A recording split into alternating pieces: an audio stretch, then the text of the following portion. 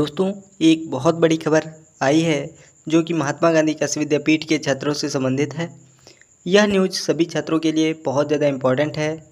इस वीडियो में अमर उजाला से संबंधित एक आपको रिकॉर्डिंग सुनाएँगे, जिससे आपको बहुत कुछ जानकारी मिल जाएगी। आप सभी के लिए यह खबर बहुत ही ज़्यादा इम्पोर्टेंट है। रिकॉर्डिंग सुनने से पहले आप सभी से निवेदन है कि चैनल को ज़रूर सब्सक्राइब कर लें और वीडियो को लाइक भी कर दिया करें। जिससे हमें खबर आप तक पहुँचाने में बहुत ज़्यादा प्रोत्साहन मिलता रहे। तो ज़्यादा टाइम वेस्ट ना करते हुए सबसे पहले आपको रिकॉर्डिंग सुना देते हैं, फिर आगे कुछ पॉइंट पर चर्चा करेंगे और कुछ जानकारी आपको देंगे। तो सुन लेते हैं रिकॉर्डिंग क्या है। कोरोना ने विश्वविद्यालय की शैक्षणिक कैलेंडर की योजनाओं पर पानी फेर दिया है। महामारी के कारण स्नातकोत्तर सेमेस्टर परीक्षाओं की कॉपियों का मूल्यांकन कार्य भी अधर में फंस गया है। महात्मा गांधी काशी विद्यापीठ में स्नातक की वार्षिक परीक्षा अप्रैल में प्रस्तावित थी। विश्वविद्यालय ने प्रश्न पत्रों का मुद्रण भी करा लिया गया था। यही नहीं, स्नातकोत्तर प्रथम सेमेस्टर की परीक्षा को लेकर भी विश्वविद्यालय प्रशासन ने रूपरेखा तैयार कर ली थी। लेकिन महामारी ने परीक्षाओं की रूपरेखा पर ब्रेक लगा दिया। संक्रमण कम होने के बावजूद परीक्षाओं की तिथि को लेकर संशय की स्थिति बनी हुई है। उधर, शासन द्वारा गठित समिति ने स्नातक व स्नातकोत्तर अंतिम वर्ष को छोड़कर शेष खंडों के छात्रों को बगैर परीक्षा के अगली कक्षा में प्रोन्नत करने की सिफारिश की है।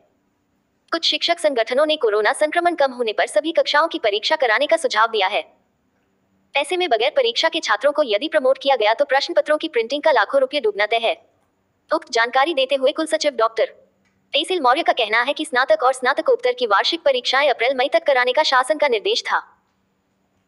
शैक्षणिक कैलेंडर के अनुसार सेमेस्टर परीक्षाएँ शुरू हो गई थी। वार्षिक परीक्षाओं का टाइम टेबल भी तैयार था, लेकिन महामारी के कारण परीक्षाएँ स्थगित करनी पड़ी हैं।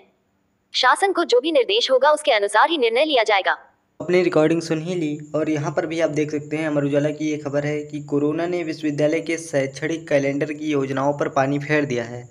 महामारी के कारण स्नातकोत्तर सेमेस्टर परीक्षाओं की कापियों का मूल्यांकन कार्य भी अधर में फंस गया है।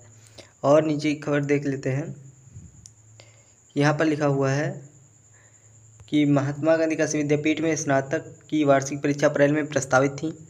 विश्वविद्यालय ने प्रश्न पत्रों का मुद्रण भी करा लिया गया था।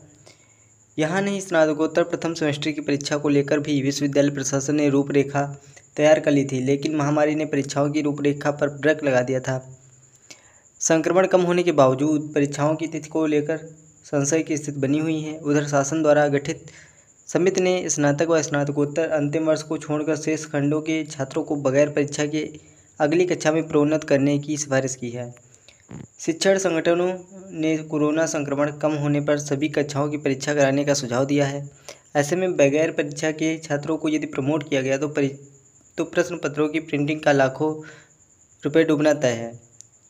और यहाँ पर नीचे खबर देख सकते हैं, उक्त जानकारी देते हुए कुल सचिव डॉक्टर एस एल मौर्य का कहना है कि स्नातक और स्नातकोत्तर की वार्षिक परीक्षाएँ अप्रैल मई तक कराने का शासन का निर्देश था।